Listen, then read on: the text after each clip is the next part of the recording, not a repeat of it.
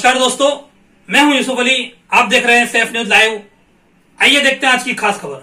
नवाब अली जी आगे बढ़ो हम तुम्हारे साथ हैं। नवाब अली जी आगे बढ़ो हम तुम्हारे साथ हैं। बीजेपी की दादागिरी। नहीं चलेगी नहीं चलेगी बीजेपी की दादागिरी। नहीं चलेगी नहीं चलेगी मोदी जी की गुंडागर्दी। नहीं चलेगी नहीं चलेगी मोदी जी की गुंडागर्दी। नहीं चलेगी नहीं चलेगी महाराष्ट्र सरकार के अल्पसंख्यक मंत्री नवाब मलिक की गिरफ्तारी के विरोध में मीरा भाईंदर एनसीपी ने किया प्रदर्शन।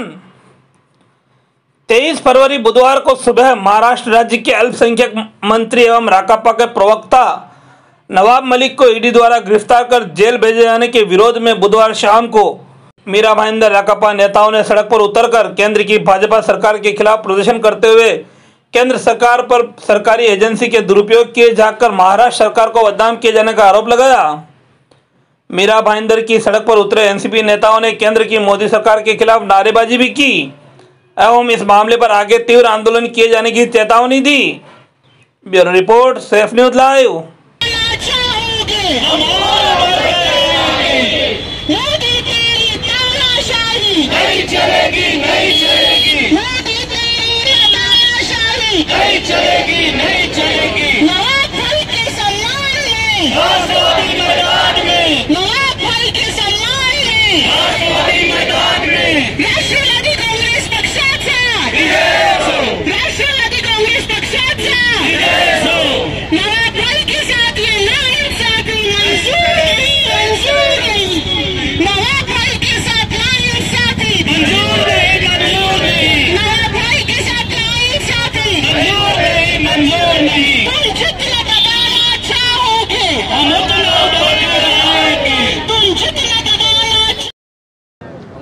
क्या कहेंगे? आज आपके अल्पसंख्यक मंत्री नवाब मलिक को ईडी द्वारा गिरफ़्तार कर लिया गया है।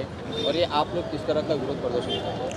आज हमारे अल्पसंख्यक मिनिस्टर और राष्ट्रवादी के नेता, प्रवक्ता आदरणीय नवाब मलिक साहब को ईडी ने अरेस्ट किया है उसके विरोध में। और नवाब मलिक जी के सम्मान में और उनके सपोर्ट में आज का आंदोलन है। जिस तरह से ईडी ने बीजेपी सरकार के बोलने पे या बीजेपी सरकार की ये केंद्रीय व्यवस्था का दुरुपयोग करते हुए उन्होंने आज सुबह पाँच बजे कोई तरीका नहीं, कुछ नहीं नोटिस नहीं, कोई समझ नहीं, और उसके साथ में उनको सुबह पाँच बजे से उठा के लाया और वो अपने कार्यालय में जाके जो अरेस्ट किया, गलत तरीके से आज किया। इसके निषेध में आज का हमारा आंदोलन है। ये पूरा महाराष्ट्र भर में, हर जगह पर चालू है। और आज हम इसी का अभी शॉर्ट नोटिस में हमें आंदोलन किया है। कल हम कल या परसों जैसा भी होगा वो हम बड़े पैमाने पे इधर मीरा रोड भाईंदर में इसका नवाब मलिक जी के सम्मान में और उनको सपोर्ट के लिए राष्ट्रवादी कांग्रेस पार्टी भी रोड पे आएगी और उतरेगी। भारत भाई क्या कहेंगे कि जो कार्रवाई जो की जा रही है ईडी द्वारा तो कैसा आप इसे देखते हैं? देखो बीजेपी सरकार ना अपना ईडी हो या सीबीआई हो उसका गलत इस्तेमाल हर जगह करती है। अभी कुछ दिन पहले नवाब भाई ने बहुत सारे इनके प्रॉब्लम को सबके सामने लाए तो नवाब भाई निशाने पे थे। और ये उसका दुरुपयोग किए।